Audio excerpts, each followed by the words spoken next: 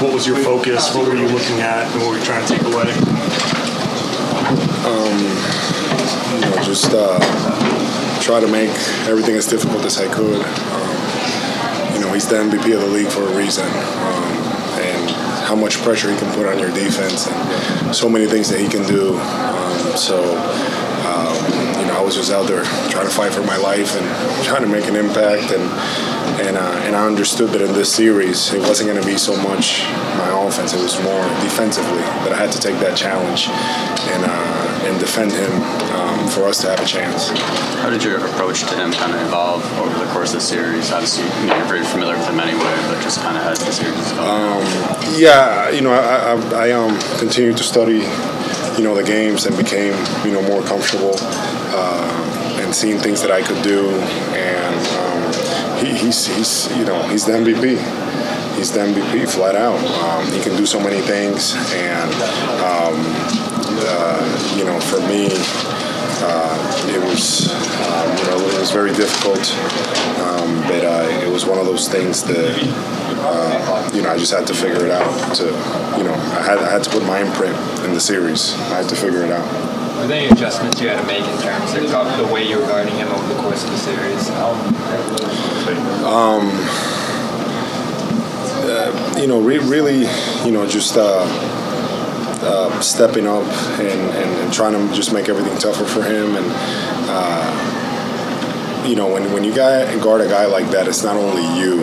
And I've said this before, it's the, the rest of the guys have to be engaged and understand. And uh, our guys did a good job with that. They were around it, they were active, they were helping me when they needed, um, uh, when I needed help. And, uh, and and I feel like Joe um, put, put a really good plan, and you know, and, and that's why we got to this position that we were able to mix it up and show them different coverages, and, and that was helpful. What shifted in the third quarter tonight? What shifted in the third quarter tonight? you know, we uh, defensively, I felt like we, you know, just took it to another level, really doubled down, locked in even more on the things that we needed to do. And then um, on offense, we took really good shots, uh, really played with the pace that we wanted to play. We played with good pace. That was key for us offensively. And, and that's how, you know, Jayson was able to get going and create opportunity for the guys. And um, uh, it, it was beautiful to see. I'm to have to have to I don't know if I'll go back and watch the game. I have to move ahead, but you, you know, I may, I may go back just just to see kind of what we did, because it was, you know, it was impressive. It was good.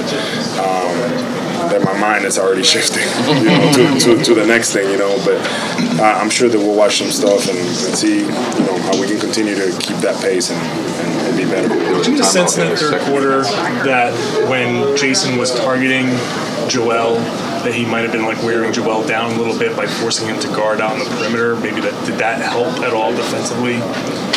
Um, I'm not sure. I mean, I just think that Jayson was in such a zone that it didn't matter who, who was going to be out there. Um, uh, you know, it's just so remarkable what he what he's been able to what he was able to do tonight. It's so remarkable. Um, at Game Seven, this type of magnitude, there's so many emotions. There's a lot of intensity, um, and and for him to play like that, I mean, that's um, you know that, that, that's what special players do. When did you know he was on one? Uh, it was in the third, you know, in the third. Um, uh, after one of those threes that he made, I was like, man, you know, he just really has it going and everything together. And um, uh, the, the, thing that I'm most proud of him is just how resilient he is, because this series well, wasn't ideal for him, wasn't going well for him individually on the offensive end, but he continued to defend, he continued to have an impact on the game, and uh, when he broke through in that game six, um, you know, I feel like that really kind of helped him uh, get going, and and, uh, and it was just great to see him put this kind of show out there tonight. This was, you know, as everybody knows, it's just very special.